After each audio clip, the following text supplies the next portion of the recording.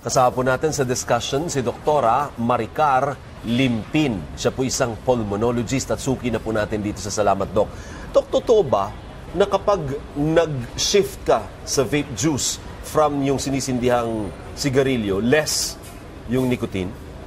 Oh, ah, hindi yan totoo, no? Depende yan doon sa kung ilan yung ah, nilalagay mong nicotine concentration Ah, may doon ganun. So, sa meron pa rin? e-cigarette. Meron ganon. May 3%, may Yes. 5%, Yes. no? Yung 5% na nicotine concentration noon is equivalent to one pack of cigarettes. Wow, mas mataas pa. Yeah, So, hindi- hindi siya yeah. totoo kasi yung iba nag-shift sila, di ba? They want to cease smoking or from smoking, stop from smoking, t- pero nag-shift siya sa vape.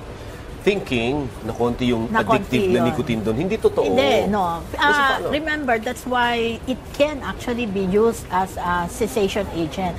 Kasi, ah, nire-replace mo lang yung sigarilyo with the e-cigarette, but yung tao still gets the Yeah. nicotine that gives them the high. That's right. Ano ba yung supposedly kagandahan ng vape? Kasi sinasabi, ano ba, wala bang tar yan?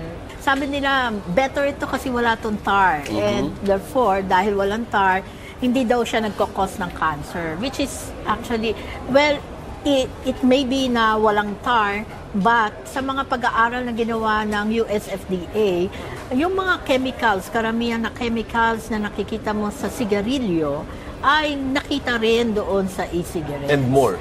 Ah, yeah. Ah, kasi meron pang propylene glycol, may glycerin Ano pa. yun? Ay, sige. Yung Chemical. mga yan, y- eh, Anong pro- dulot sa katawan? Ang propylene glycol is actually an industrial solvent. So, ibig sabihin, ah, nakaka sobra siyang nakakairita ng katawan natin.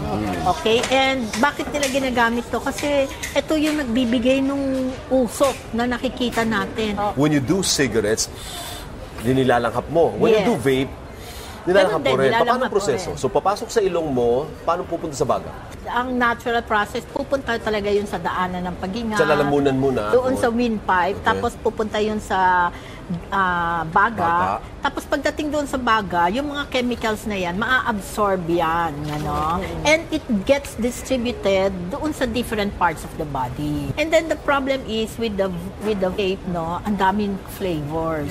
And the flavors mask Harmful din. the irritating effect. No? Sometimes Ah. yung medyo mauubo-ubo ka, medyo namamask Tinatago niya. Oo. Mabango eh. Yes. Ako irritable ako pagdating sa usok ng sigarilyo, pero pag vape, iniisip ko, ma- parang aroma. Yes, therapy. right. Ang daming ano flavors sa in the international arena. Oh. There are about 15,500 ke- uh, flavors. Oo. So, ganoon kadami. Pero bakit po naman ganun? Eh di nasa, napang, nabanggit nyo sa abroad. Sa abroad daw, may nakitang teenager. Yung baga niya, teenager siya, pero parang 70 years That's old daw right. yung baga. Thank bakit nagkaganon? Yeah. Yeah, because of the exposure doon sa mga iba't ibang irritating chemicals.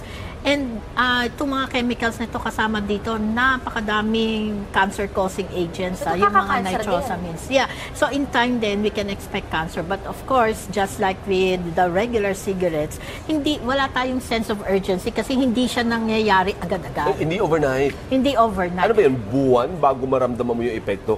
Kagaya nan yung Yeah, it- teenager. It can take time, ano? But years. ah dito sa his, dito sa nakikita natin ngayon sa Amerika, no? It takes them only a few months to a year, to a, to a few years. Parang? Ngayon, meron na silang mga nakikitang ah, nagkakaroon ng acute lung injury because of Over a short period of time. Yes, because of the ah, use of vape. Kasi mukhang harmless. Ang sabi, Doc, I don't know, correct me if I'm wrong, parang nasisimulan ng mas maaga yung habit ng ano ba, hindi naman yosi, pag-vape, and eventually baka nagiging pag-yosi dahil they start younger. Yeah, ah, actually doon sa Amerika ang nakita, no, marami doon sa mga nagsimula ng vaping, wala ring, hindi sila nakasigarilyo ever before. Because And then, of the trend.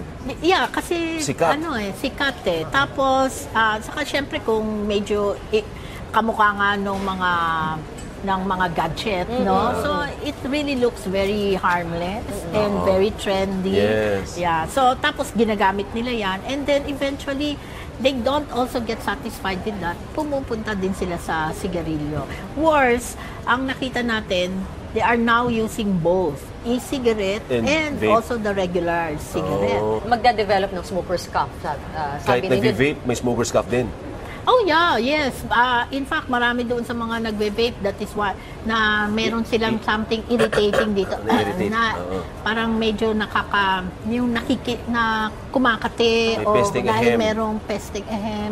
So this is a very ah, good example na itong mga chemicals na ito na nakikita na ginagamit sa vape ay naka, nagkakos ng irritation sa respiratory system. Kung sa sigarilyo, may second-hand smoke, di ba? Naku, galit na galit yung mga tao pag may Yes, right. Yung vape ba, may second-hand effect din? Kasi si Ate B sabi niya, parang nag-a-aroma therapy daw siya pag nalanghap niya. amoy Mabango berry, amoy pasko pa Mabango, nga, amoy oh. cinnamon. Oh, oh. Yes, correct.